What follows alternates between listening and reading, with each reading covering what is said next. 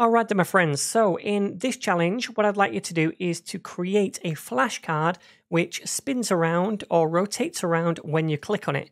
So you can see right here we have this card with some text on, get 50% off NetNinja Pro. When we click on this it's going to spin around to show you the back of the card which has the promo code Ninja Fledgling.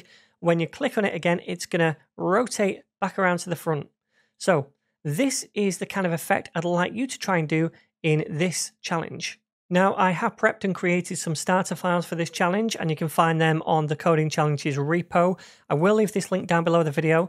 To get the starter files, go down to the branch drop down, and you need to scroll right down to Challenge 8 Start.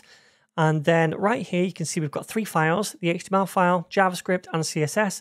To download these, go to code and then go to download zip. Click on that, it will download a zip folder. Just unzip that and open it up in a text editor. So once you open up those starter files in an editor, they're going to look something like this. We have the HTML file right here, which is a really, really simple template, just an H1, then a section down here, which is all the stuff we're concerned with. So inside the section tag, we have a div with a class of card. Then inside that, we have a div for the front with a class of front.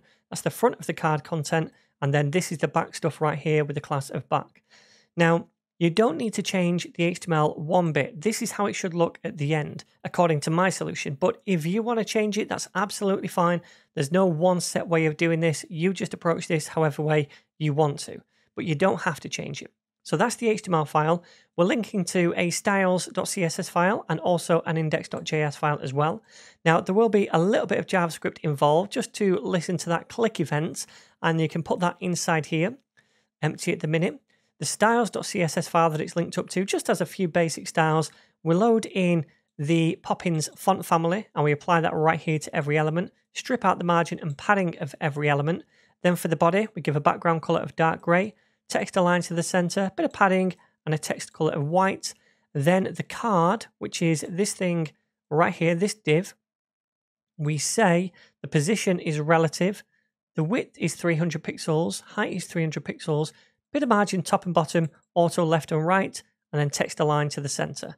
So at the minute, if we preview this, it's going to look like this in the browser, not much styling.